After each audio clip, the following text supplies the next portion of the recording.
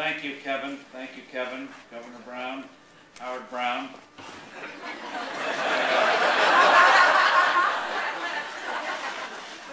One of my younger brothers went to Brown University, and I can say, well, I've been to the better Brown. So.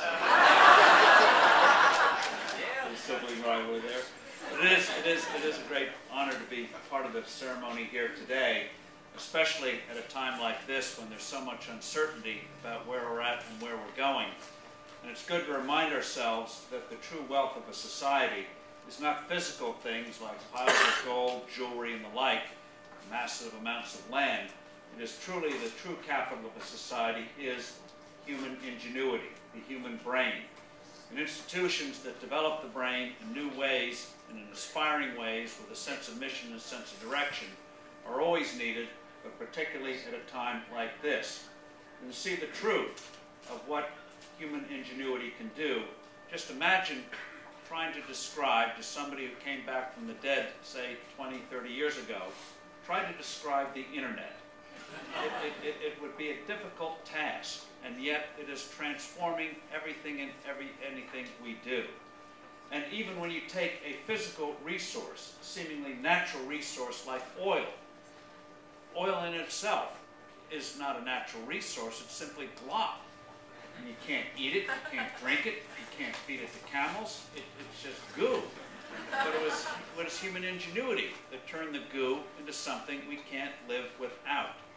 And that's what we have to keep in mind. My grandfather, who founded our company 92 years ago, he was an immigrant to this country, one of 10 children, grade school education, no money.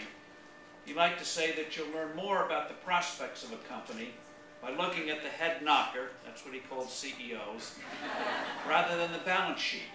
People make the difference.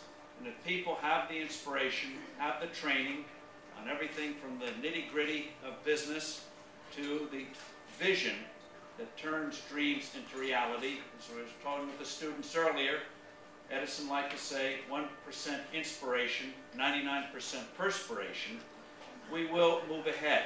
And even in difficult times like this, we have to keep in mind that the human mind does not stop churning, does not stop dreaming, does not stop working. In the 1970s, for example, a dreadful decade, high inflation, ever higher interest rates, a time of malaise, look, was, look what was incubating. Apple, Microsoft, Oracle, Sun Microsystems, the first forth in the 1980s. In the recession of 2000 2001, after the terrible bubble bursting in high technology, look what came out Google, iPod, social networking, and the like. So things don't stop, the mind doesn't stop. And thanks to Stevenson, minds are going to be enriched as never before. So when we look back on this era, we won't just remember the difficult times, but again, incubating the minds that are going to give us a better future. Thank you all very much.